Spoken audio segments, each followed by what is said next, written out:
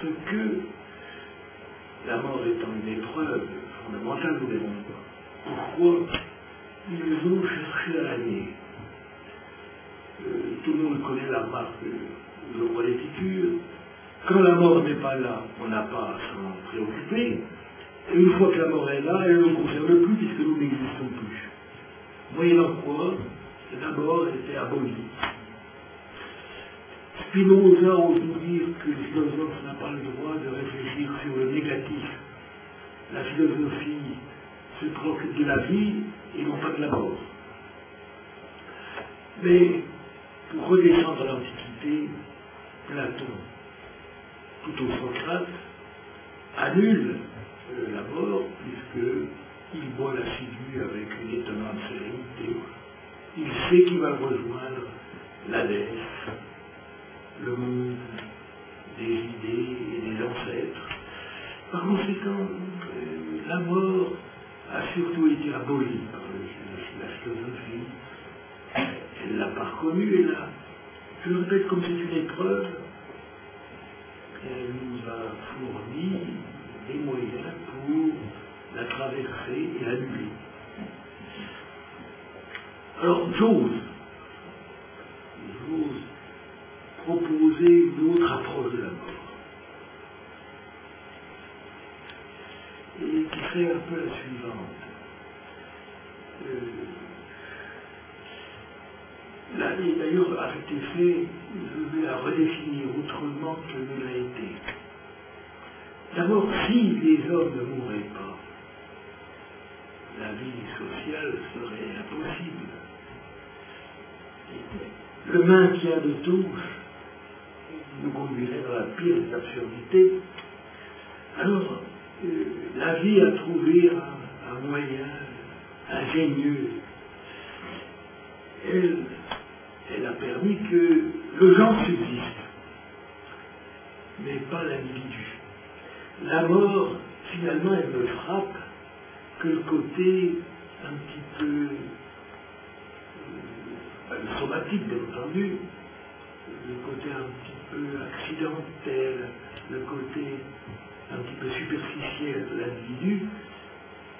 Et qu'est-ce qui va subsister Je le répète, l'espèce, le genre? D'ailleurs, cela est vrai pour tous les vivants.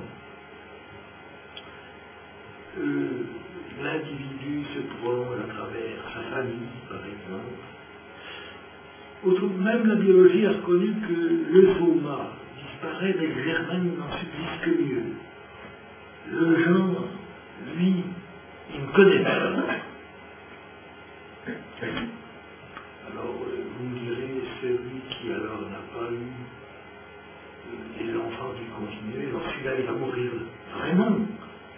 Mais il n'est pas d'individu qui se dévoue, s'il est célibataire, par exemple, il va, il va, se dévouer à une institution, à une communauté, à une confrérie, c'est elle qui assurera sa subsistance, qui assurera, encore une fois, sa maintenance.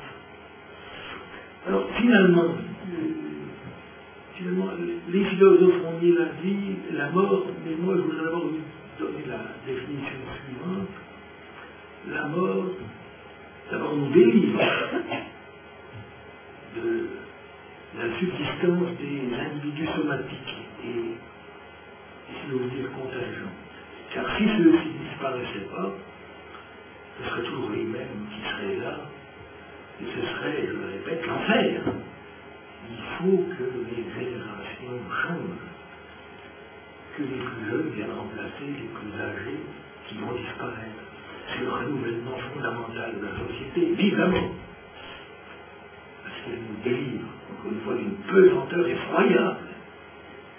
Encore une fois, celle de la maintenance. Mais elle supprime d'autant plus les individus que subsiste, une fois, le genre, l'espèce, la communauté même, la famille. Ils subsistent à travers ce qu'ils vont laisser eux-mêmes disparaissent, c'est vrai, mais pour mieux, pour mieux assurer la maintenance de ceux qui les prolongeront. soit somatiquement, à travers leurs enfants, et s'il n'y a pas d'enfants, à travers les institutions qu'ils ont, à laquelle ils ont déjà travaillé. Ils ont allumé leur vivant, et après leur mort, celle-ci, encore une fois, les prolongeront. Je reconnais que la mort est une épreuve psychologique incontestable, mais il faut substituer la psychologie, comme je voudrais vous le montrer, une espèce de métaphysique de la mort, une espèce sans tomber dans les remarques heideggeriennes de l'être pour la mort, euh, de l'être dans le temps, de l'être qui doit mourir. Euh, je trouve que c'est, encore une fois, des plans euh, plus psychologiques que précisément métaphysiques. Alors, qu'est-ce qu'il y a donc qui définit métaphysiquement la mort? Moi j'apprécie dans le monde, euh, par exemple, euh, ça n'a rien, à voir avec la mort, mais dirais dans un instant quelle est la parenté. Par exemple, si j'ai la photographie de quelqu'un, moi j'en suis très content parce que j'ai la personne sans la personne. Moi ce qui m'ennuie un petit peu, c'est le volume, c'est euh, la totalité. moi j'ai la chose sans la chose. Ah, je trouve ça. Quand j'ai la carte d'un pays, j'ai le pays sans le pays. Et j'apprends beaucoup de choses à regarder la carte. Parce que c'est un résumé, c'est une quintessence. Donc la mort, c'est un petit peu cela. J'ai perdu la personne, mais elle n'est que plus présente puisque je conserve le souvenir. Car au fond, au fond du fond, quand l'homme meurt, oui, disparaît, tombe définitivement la corporalité.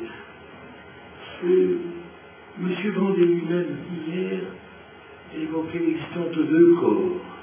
Le corps matériel et somatique, et puis le corps, encore une fois, spirituel. La mort frappe l'un, mais je pense qu'elle intensifie l'autre.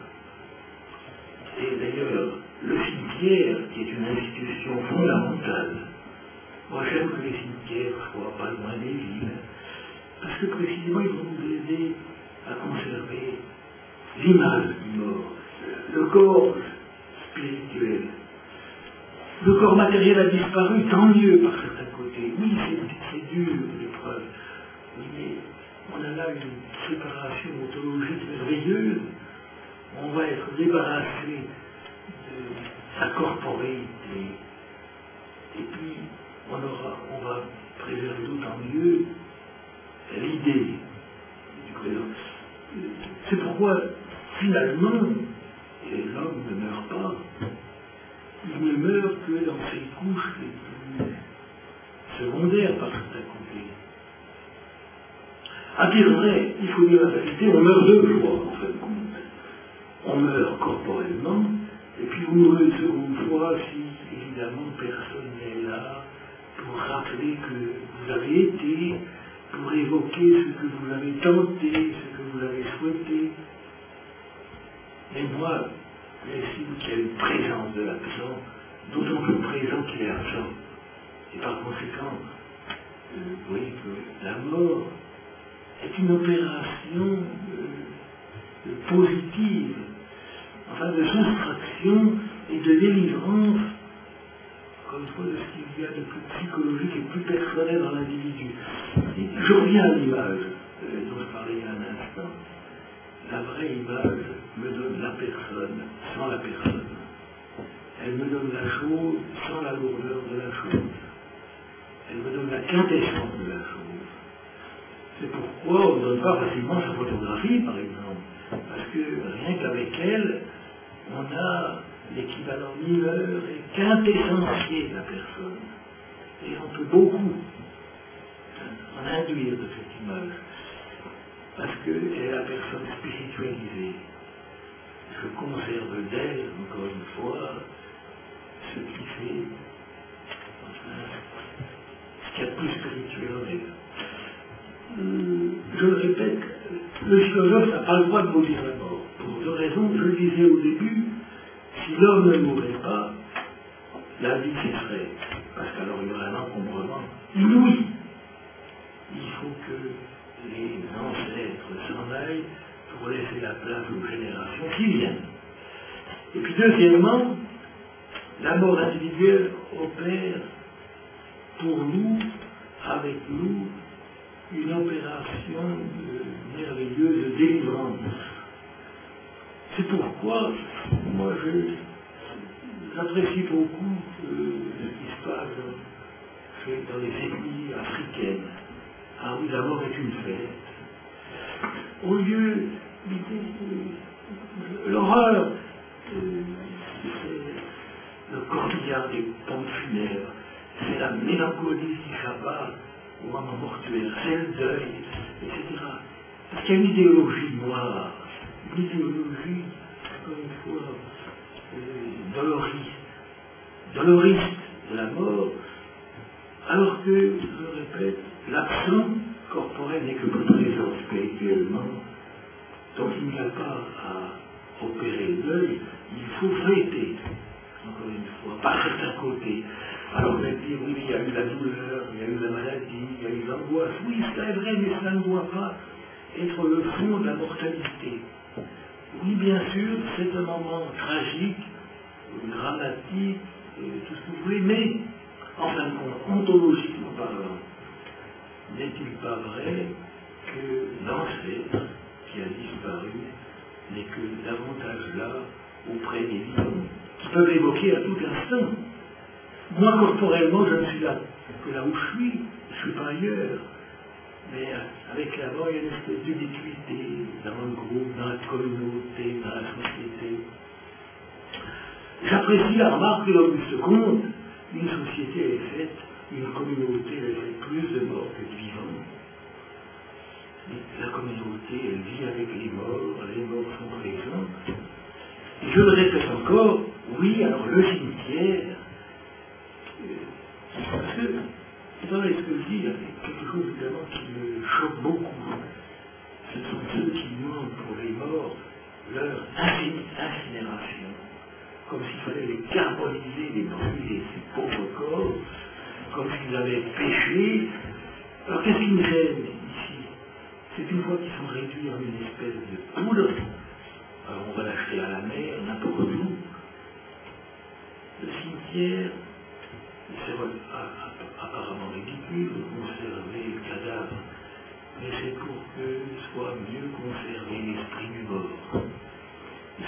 La corporéité, le cimetière, c'est un moyen pour rappeler, encore une fois, l'esprit de celui qui apparemment nous a quittés, mais qui en réalité euh, reste près de nous en parlant de la mort, exclu totalement le religieux.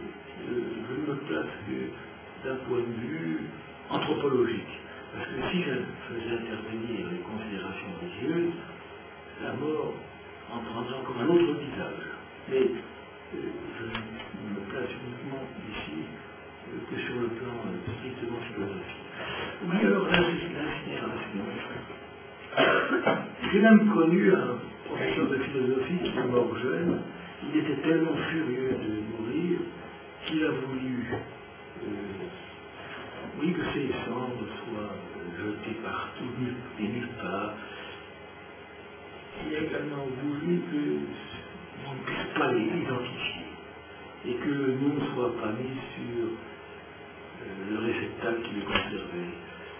Comme s'il y avait une veine de la vie qu'il avait quittée. Oui, l'incinération, je le répète bien, vous voyez, il y a deux,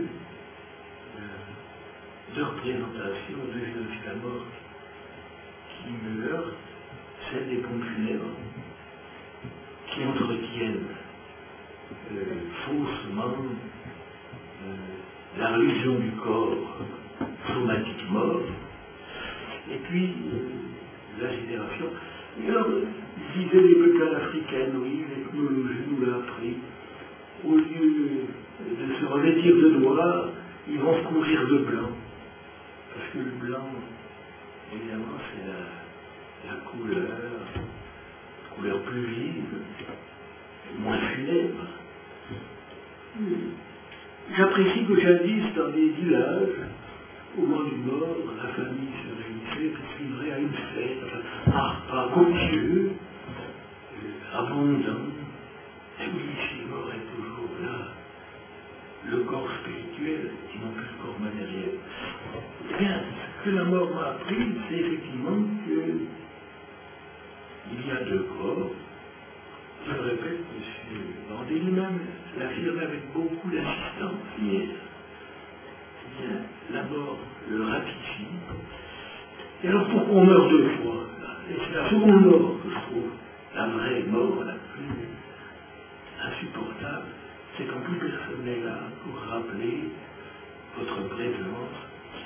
Si les enfants oublient leur ancêtre, si la société oublie ceux qui ont travaillé pour elle, si l'institution euh, ne conserve pas, encore une fois, les traces de celui qui est mort, alors là, il est mort, oui, une deuxième fois. Et il tombe dans l'anéantisation complète. C'est ça la vraie mort. Mais ce n'est pas la première, qui est un peu, au contraire, une exhaustion, une élévation du vivant. Et encore une fois, oui, euh, j'appréciais donc euh, ces de fêtes de la mort. Et une fois, euh, bien que je, tombe un petit peu ici dans un mélange coupable, je dis que la mort oui, parce que j'ai un peu mélangé un brin, le religieux et le philosophique. Oui, dans la mort, il y a un petit côté résurrectionniste que j'entends euh, souligner et détacher. Parce que c'est la résurrection de l'individu qui subsiste en tant que présent dans et malgré la force. C'est pourquoi donc au début j'avais raison de ne plus suivre les philosophes qui défendaient de parler de la mort, qu'il avait trop annulé, alors que, pour ma part, au contraire, je la bénis, dans la mesure où, je le répète, les plus âgés c'est enfin leur place aux plus jeunes, et dans la mesure où le corps spirituel apprend la relève et s'incouver, alors que le corps somatique avait en quelque sorte éloigné celui-là, et la mort ne rend que présent celui qui est absent. Par conséquent, oui, j'ouvre les l'éloge de ce que généralement on regarde de manière trop